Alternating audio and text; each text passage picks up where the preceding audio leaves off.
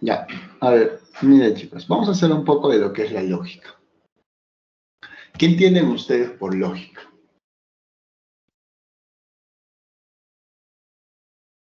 No, voy a activar acá.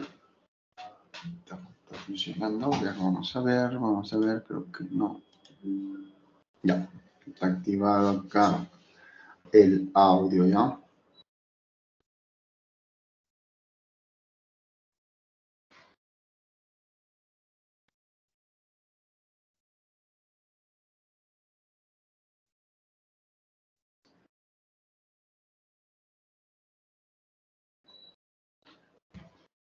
Ya, la lógica realmente es una ciencia que, formal, ¿no?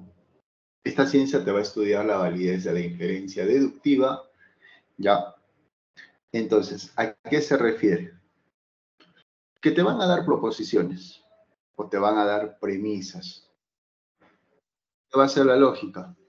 La lógica tiene que agarrar y estudiar esas premisas. Es como decir, ¿no? Cuando planteas una ecuación, o cuando te dan una ecuación o un problema de planteo de ecuaciones. ¿Qué vas a agarrar primero? Los datos.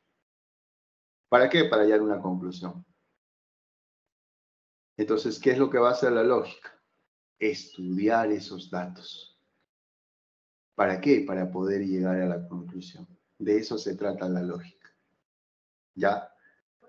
Entonces, obviamente la lógica va a ver las formales y obviamente las no formales, ¿no? Entonces, de eso es lo que se trata la lógica. Estudiar esas relaciones. ¿Ya? Las relaciones que va a haber entre las premisas para llegar a la conclusión. ¿Ya? Para llegar a la conclusión. Ahora, eh, obviamente es verbal, ¿no? Ya, es verbal, tiene que ser ambiguo y tiene que ser polisémico. ¿Ya? ¿Por qué polisémico? Obviamente porque podría haber que sea, o que una expresión o una proposición que te dé, ya, vaya a tener varios significados, ¿no? A eso se refiere. Muy bien, vamos ahora, ¿qué más? Hay dos tipos de lenguaje, ¿no? De los que vamos a hablar. El lenguaje natural y el lenguaje formal. ¿Cuál es la función del lenguaje natural? ¿no? Es la que tú lo hablas o lo, lo ves en la vida cotidiana cuando expresas, por ejemplo, emociones, ¿no? Cuando vas y tú le dices a tu enamorada, oye, te quiero, le dices, no. Esa es una emoción. Vas a encontrar la directiva, directiva, ¿no? Se va a dirigir a alguien, o sea, es dar una orden. Ya, es dar una orden. Oye, tú, vaya a limpiar el cuarto, ¿no? Te dice tu papá. Estudia, ahí está, ¿no? Es una orden. Ahora, hablamos de las informativas, que te habla de las realidades. Es como decir, ahora la UNSA te va a tomar 80 preguntas en dos horas y media. Esa es una informativa, pero siempre la informativa va a depender de la realidad. Y vamos a tener el lenguaje formal. Y este lenguaje formal puede ser o tiene que ser escrito, tiene que ser exacto, ¿no? Tiene que ser escrito, tiene que ser exacto. Y a la vez tiene que ser unívoco. ¿Ya? Y a la vez tiene que ser unívoco. ¿Ya?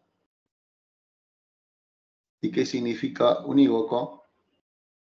Que tiene que tener igual naturaleza o igual valor, ¿no? Que otra cosa. Ya, tiene que tener el mismo valor. ¿Ya? Ese es el lenguaje formal. Ahora, en este lenguaje formal, nosotros qué vamos a escribir? Vamos a escribir proposiciones. Pero, profe, ¿qué es una proposición? Es un enunciado aseverativo. ¿Y qué significa que sea aseverativo? Ya, aseverativo se refiere a que tenga que ser verdadero o falso. ¿Y cómo lo tienes que comprobar con la realidad? Profe, ¿cómo así? A ver, por ejemplo, si yo te colocase, a ver, vamos a ver si puedo escribir acá. Ah, ah, ah.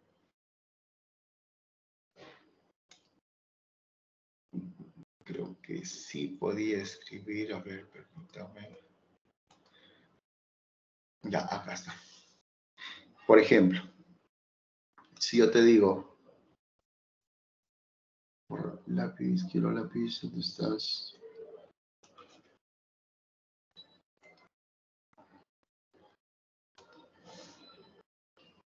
Ya está.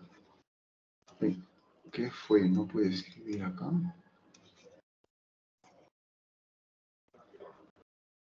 Ahí está, ahora sí. Ya, a ver. Por ejemplo, si yo te escribiese...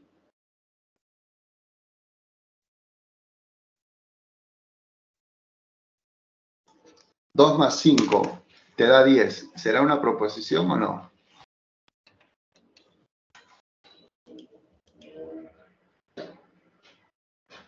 ¿Qué dicen ustedes?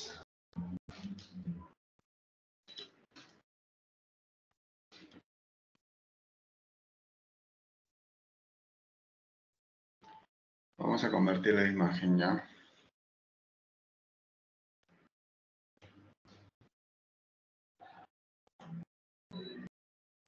Vamos a convertir la imagen en esto un ratito, chicos. A ver. No se puede escribir por acá.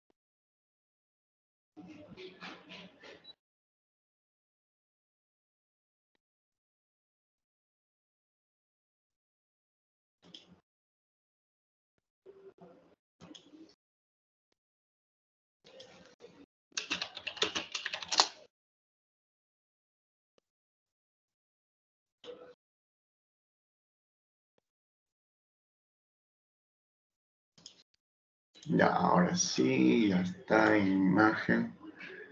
Lo pondremos en Python para hacerlo rápido. Ya está, muy bien. Estamos en esta partecita de acá. La proposición tiene que ser aseverativo, ¿no? Y depende si se puede comprobar con la realidad. ¿A qué me refiero? Por ejemplo, si yo escribiese eh, 3 más 6 es igual a 15. Ya está. ¿Tú le puedes dar un valor de verdad? Yo creo que sí, ¿no? 3 más 6 es igual a 15. Mentira, ese es falso. ¿Ya? Pero le puedes dar un valor veritativo, ¿no? Un valor de verdad. Y al ser un valor de verdad, entonces ya sé que es falso. Entonces, esto sí es una proposición. Sí va a ser una proposición. Ya. Ahora, si yo te dijera, por ejemplo, eh, te podría colocar eh, Carlos estudia.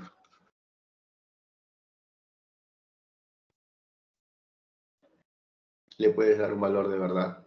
Tú conoces a Carlos, tú ves si estudia o no estudia, entonces puede, darle, puede ser que sea verdadero, también puede que sea falso, ¿sí o no?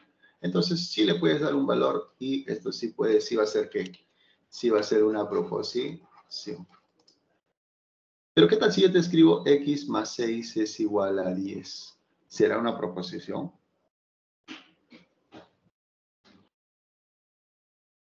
Obviamente que no. ¿Por qué no, profe? Si el x vale 4, la suma es 10. Pero si el x fuera cualquier otro valor, no sería 10, sería falso. Pero tú no sabes cuál es el valor del x. Tú lo desconoces ese valor. Y como desconoces, no va a ser una proposición. Profe, y en el otro caso, Carlos, a Carlos sí lo conoces, porque le estoy denunciando, le estoy dando un nombre.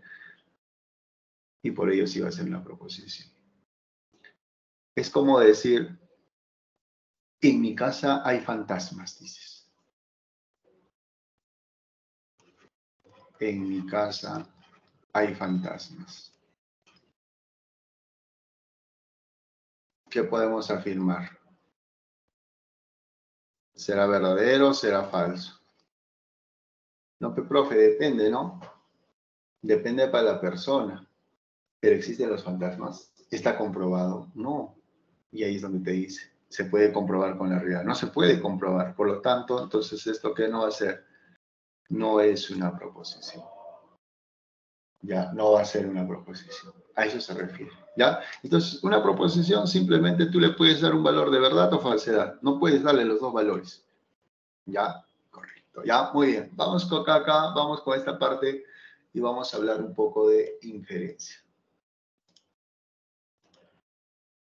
¿Qué es una inferencia? Es una estructura de proposiciones con premisas y conclusión. Obviamente esto puede ser válida o inválida.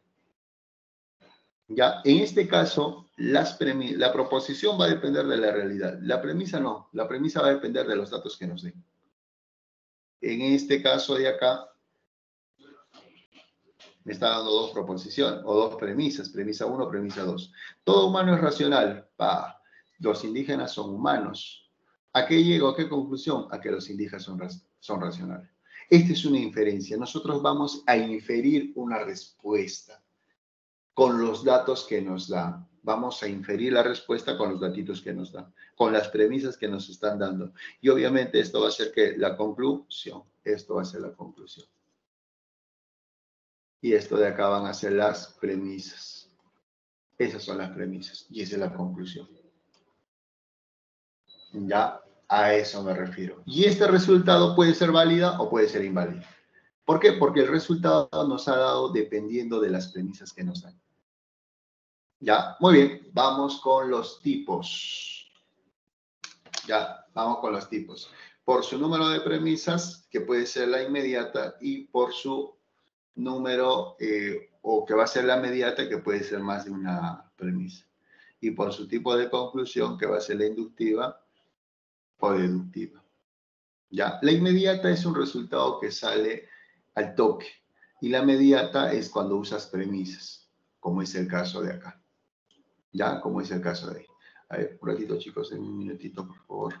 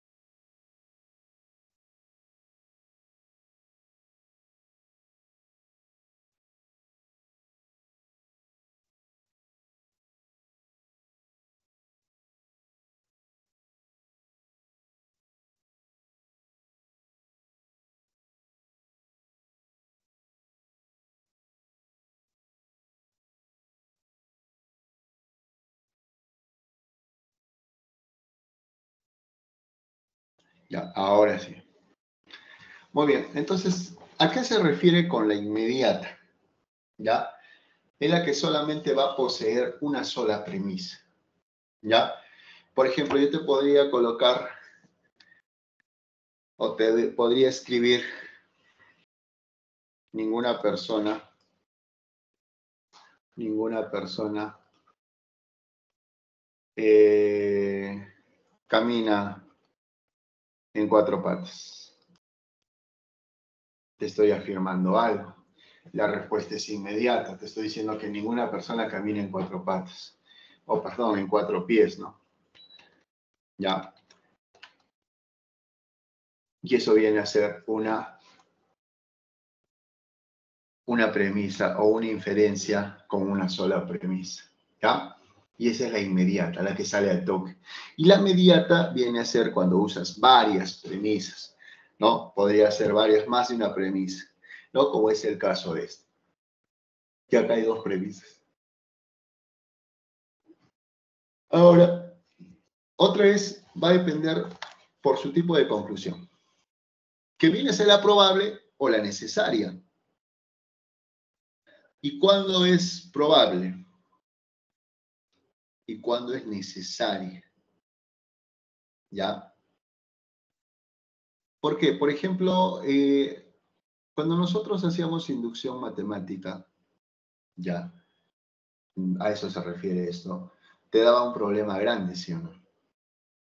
Y al darte un problema grande, ¿qué pasaba? Tenía que usar casos pequeñitos, casos particulares. Entonces, como usaba casos particulares, hallaba esa respuesta grande. Pero usar esos casos particulares al hallar la respuesta grande era una probable respuesta. O era una probabilidad de usar eso que me ayude a llegar a la respuesta. Porque no siempre me podría ayudar en todo tipo de problemas grandes. Solo te va a ayudar en ciertos problemas. Por eso es que se le llama probable. ¿Ya? Por eso es que se llama probable. Es como si yo escribiera, ¿no? Carlos eh, es, es ateo. Juan es ateo. ¿Qué puedo deducir con esas proposiciones? Posiblemente Carlos y Juan son ateos. No. A eso se refiere, probablemente, ¿no?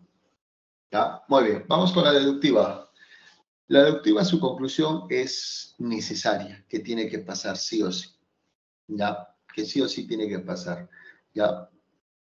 Pero obviamente tiene que ser de acuerdo a su coherencia lógica, ya sea válida o sea inválida, ¿no? Es como cuando yo te dijera, ah, ya, todo es real. Todo, hecho ya le vamos a poner. Todo hecho es real. Y te puedo poner, ninguna fantasía es real. Ninguna fantasía es real. Entonces, ¿qué voy a deducir de ahí? Deduzco que ninguna fantasía va a ser qué? Real. Ya, todo hecho real, ninguna fantasía es real, puedo deducir que ninguna fantasía va a ser real, ¿no? Porque tiene el mismo significado. O tiene un significado muy parecido. Voy a deducir la respuesta. Ya voy a deducir la respuesta. Un ejemplo claro es, por ejemplo, cuando hacíamos criptaritmética y te colocaba una división o un producto, ¿no? Digamos, te ponía puro asteriscos y te daba este producto. Entonces yo te necesitaba resolver este ejercicio.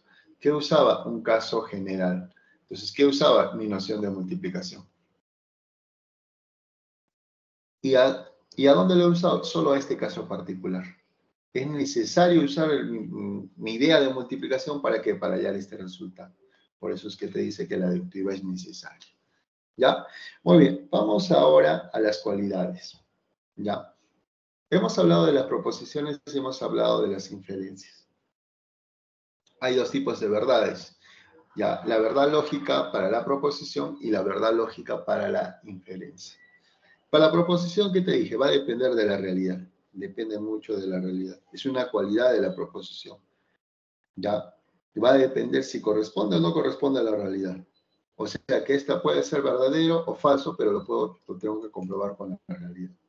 Pero la validez lógica ya es una cualidad de la inferencia y va a depender mucho de las premisas, ¿no? De las premisas que tiene. O sea, la coherencia que va a tener entre la conclusión y la premisa. Y esta premisa puede ser válida o inválida. Ya, acá ya tiene otra cosa. Válida o inválida. Ya, es válida o puede ser inválida. ¿Ya? Esas son las cualidades. En el caso de la proposición, o es verdadera o es falsa.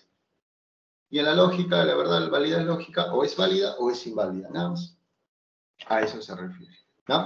Muy bien, vamos con otra parte. A ver, a ver.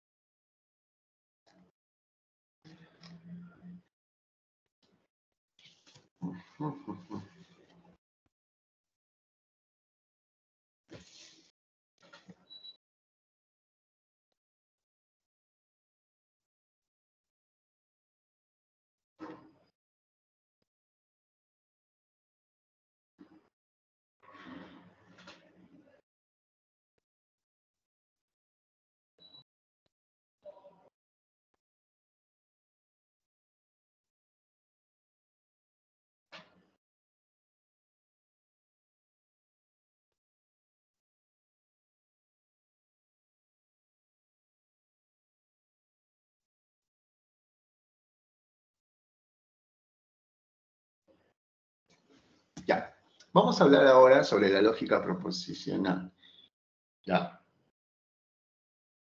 ¿Y de qué trata la lógica proposicional? Estudia las relaciones entre proposiciones.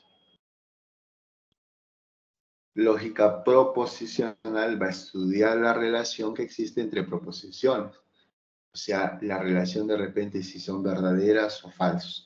Y ya sabemos que una proposición es el significado de un enunciado aseverativo en función informativa, o sea, en función de la realidad, que puede ser verdadero o puede ser falso. ¿Ya? Eso se refiere. Vamos a ver los tipos de proposiciones. Tenemos las simples o atómicas y las compuestas o moleculares. Obviamente una molécula está compuesta de átomos, o sea que las compuestas están, están compuestas, ¿no? De las simples. Y en las simples vas a encontrar dos tipos, la predicativa y la relacional. La, la predicativa te habla del sujeto más el predicado va a haber un sujeto y un predicado, ¿no? Como una oración predicativa, con predicado. Y yo te puedo decir como ejemplo, Panchito es ingeniero. Tengo el sujeto y tengo el predicado. Y yo obviamente puedo decir si es verdad o es falso. Y otra es la relacional, en la cual tú vas a vincular o vas a juntar a dos o más sujetos, dos o más personas. Por ejemplo, yo te digo, Jack y Miguel son hermanos. ¿Ya? Jack y Miguel son hermanos estoy vinculando a Jack y estoy vinculando a Miguel. ¿Ya? Y las compuestas simplemente se van a componer de varias simples, de una, de dos, de tres, de cuatro, de cinco, de dos a más. ¿Ya? Esas son las compuestas o moleculares. ¿Ya? A eso se refiere compuestas o moleculares.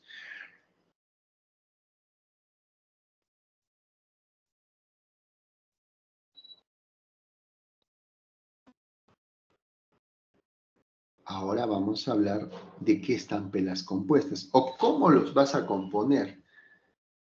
¿Ya?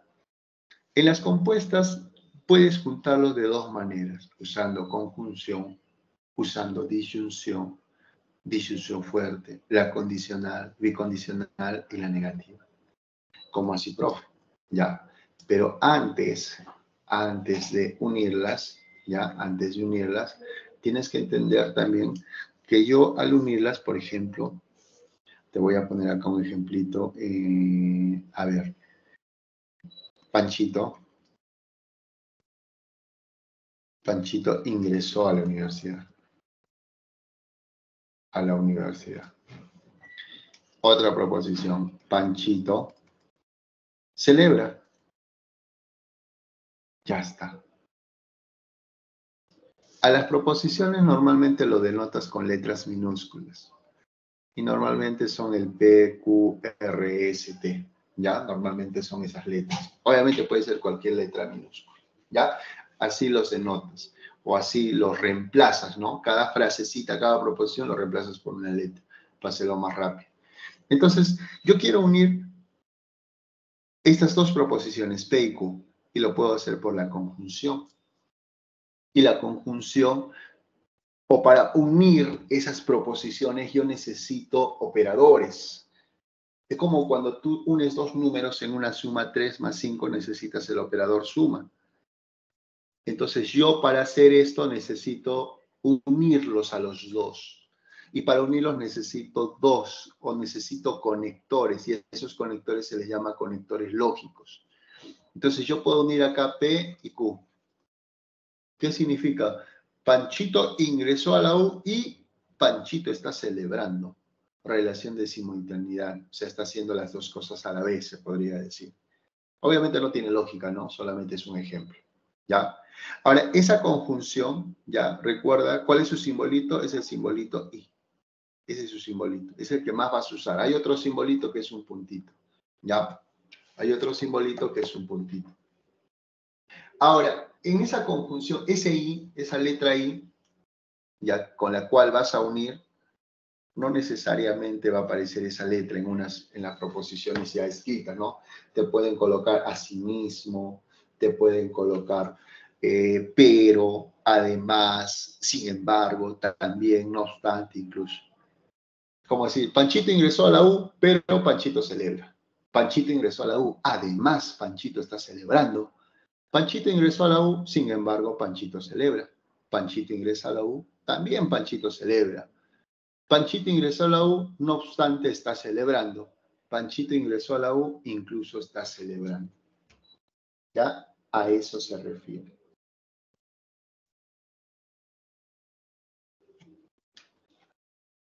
Vamos con la disyunción. En la disyunción vas a encontrar dos tipos, la débil y la fuerte. ¿Ya? En la disyunción vas a encontrar dos tipos, la débil y la fuerte. ¿Ya? ¿Y cuando hablamos nosotros de la débil? ¿Ya? Cuando nosotros hablamos de la débil, cuando hay alternativas no contrarias. ¿A qué me refiero, profe, no contrarias? Y cuando a la fuerte, alternativas contrarias. No entiendo, profe. Muy bien, vamos acá acá te vas a dar cuenta. Algunos no le dicen débil, algunos le llaman inclusiva. Algunos no le dicen disyunción fuerte, le dicen disyunción exclusiva. Uy, profe, ¿a qué se refiere? Inclusiva, exclusiva. Inclusiva, su nombre lo indica, que lo vas a incluir, ¿sí o no? Exclusiva, que no lo vas a incluir. Ya, exclusiva.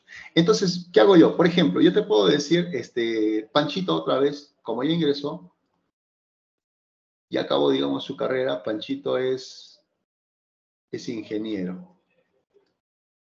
Y también te puedo decir, Panchito es, es médico. Uy, tiene, profe, dos carreras, acabado, ya está. Entonces, ¿cómo te puedo decir en una decisión? Panchito es ingeniero o Panchito es médico. ¿Qué puedo concluir con eso?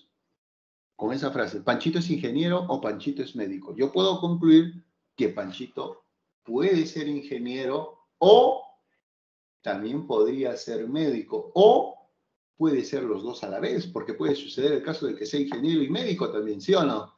Entonces, esa es la inclusiva, que es algo o es el otro o puede ser los dos. Entonces, Panchito es ingeniero o también puede ser médico o puede ser los dos. Pero la exclusiva, la exclusiva cambia. La exclusiva te dice Panchito, digamos, tiene 16 años y te puedo decir que Panchito, Panchito tiene, tiene 17 años. Profe, ¿cómo es eso? Panchito tiene 16, tiene 17. ¿Puede suceder los dos casos? No. Imposible. O tiene 16 o tiene 17. No más, no puede tener 16 y 17 a la vez, no puede. O tiene 16 o tiene 17. Esa es la exclusiva. La inclusiva no, la exclusiva puede tener los dos a la vez pero la exclusiva o tiene algo o no tiene nada. Y la disyunción, la débil en este caso se pone con este simbolito y la disyunción fuerte se pone con ese simbolito. En este caso vamos a hacer la misma anotación. Así. Esa es la disyunción fuerte. La disyunción fuerte tiene ese simbolito. ¿Ya? Muy bien, vamos con la condicional. ¿Ya? Y la condicional es un detalle.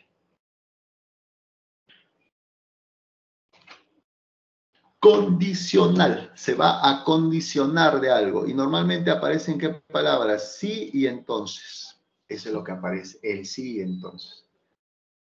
Y otra palabra que puede ser por consiguiente, de ahí que, por lo tanto, en consecuencia, luego, en conclusión. ¿Ya? Por ejemplo, la de acá, ya que hablábamos de Panchito ingresó la U. Panchito celebra. Si Panchito ingresa, entonces celebra. Ahí está. Esa es la condición. Solo si ingresa va a celebrar, si no, no puede hacer eso. Relación de antecedente y consecuente. Lo condiciona mi respuesta. Si sucede algo, entonces va a suceder algo. Si Panchito estudia, va a ingresar. Si Panchito ingresa, va a celebrar. Ya, condición. Ahora, con las otras palabras podría decir, si Panchito ingresa, por consiguiente celebra. Panchito ingresa, de aquí va a celebrar. Panchito ingresa, por lo tanto celebra. Panchito ingresa, en consecuencia va a celebrar. Panchito ingresa, luego celebra. Panchito ingresa, en conclusión se va a celebrar. Profe, ¿y cómo sería la invertida? ¿A qué, ¿A qué me refiero cuando te coloqué acá la invertida? La invertida es que a veces no te lo van a poner en ese orden. Si Panchito ingresa, entonces celebra. Te lo pueden poner al revés. Te pueden decir, Panchito se fue a celebrar ya que ingresó. Ah, la frase está al revés. Y una proposición puedes colocarlo de esa forma, pero al final tiene el mismo significado. Si Panchito está celebrando es porque ha ingresado. Ahí está con el por qué. Panchito ingresó debido, o Panchito celebró debido a que ingresaron, ¿no? Y así te pueden poner varias palabritas. Acá te coloca algunas palabritas que también se refieren a la condicional, pero la condicional en este caso, o la proposición va a estar invertida. Tú tienes que ordenarlo nada más, ¿ya? Voltear nada más el significado. Muy bien, vamos con la bicondicional. Y la bicondicional aparece sí o sí. Y acá me habla relación de semejanza. La condicional, su simbolito tiene que ser ese. La bicondicional, el simbolito va a ser de esa forma. ¿Ya? Muy bien. Y te aparece sí o sí y solo sí. Entonces, ¿cómo decir que tiene que pasar sí o sí los dos? Por ejemplo, cuando te dije, Panchito ingresa. Sí y solo sí celebra. O sea, cuando ingrese sí o sí va a celebrar. Y tiene que ser al revés. Si celebra, Panchito tiene que ingresar relación de semejanza, igualdad se podría decir. Ahora te puede aparecer cuando y solo cuando, ¿no? Si Pachito ingresa, cuando y solo cuando celebre. Pachito ingresa, entonces y solo entonces va a celebrar, ¿no? Y la negativa es negar. Y la negativa se pone el simbolito de esa forma. ¿Ya? Si te digo negar, es falso, que no es verdad, no ocurre, no es el caso. Pachito ingresa, la negación, Pachito no ingresa es falso que Panchito ingresó. No es verdad que Panchito ingresó. No ocurre que Panchito había ingresado. No es el caso que Panchito ingresó. No te lo ponen de esa forma. Esa es la negación, la negativa. ¿Ya? Muy bien, hasta ahí chicos. ¿Alguna consulta, inquietud, duda?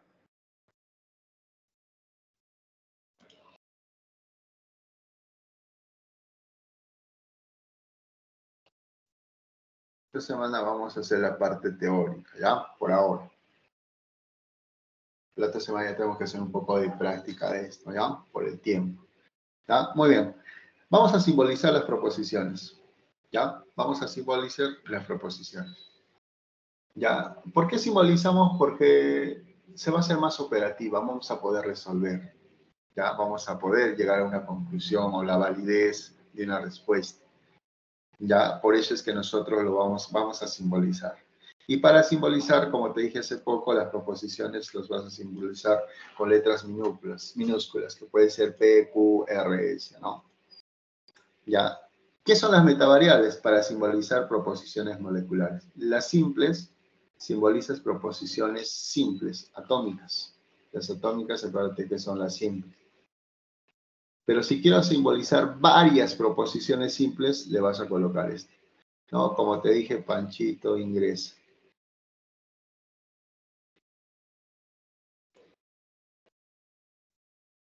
Y estudio. Este va a ser mi P, este va a ser mi Q. Pero quiero juntar, como están compuestas, están los dos, todo eso es igual a una letra mayúscula. A eso se refiere la simbolización. ¿Ya? Constantes u operadores, ¿no? Simbolizan los conectores lógicos, lo que te dije, los operadores lógicos, los conectores lógicos. Y esos conectores se les conoce como las constantes diásticas, ¿no? El y, el o, el entonces, ¿no? O sea, la disyunción, conjunción, ¿no? Y las negaciones se le conoce como las constantes monádicas, ¿no? Ahí está, el conector de la conjunción. Normalmente se usa el sistema de Scholz, pero algunos autores también usan el sistema de piano ruso. Solamente está cambiando la conjunción, mire, tiene esta forma, y la conjunción del sistema piano va a ser el puntito. La disyunción débil, una V y el otro V, lo mismo. La disyunción fuerte,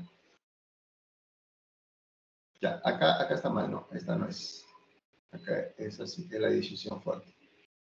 Ya, esa es la disyunción fuerte. Ahí está. ¿Ya? Y en el sistema piano-Russell tiene esa forma. La condicional es una flechita a la derecha y en el sistema piano-Russell es como una U a la izquierda.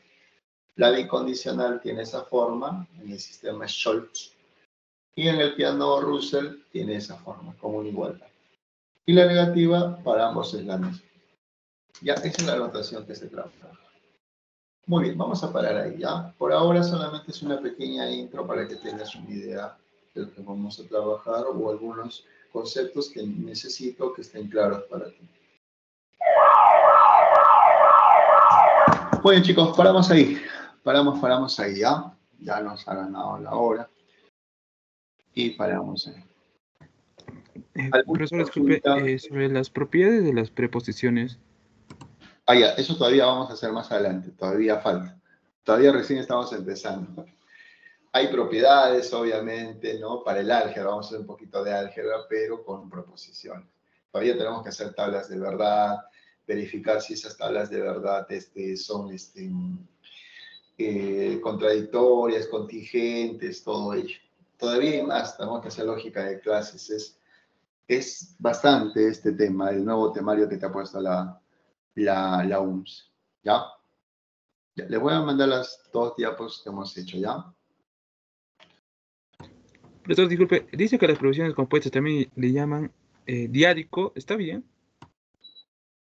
Normalmente te van a poner como molecular en la, en la compuesta. Pediálico también, también le ponen, pero normalmente te va a aparecer, ¿no? Molecular nada más, ¿ya?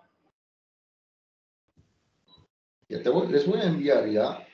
Eh, a ver, vamos a mandarlo acá.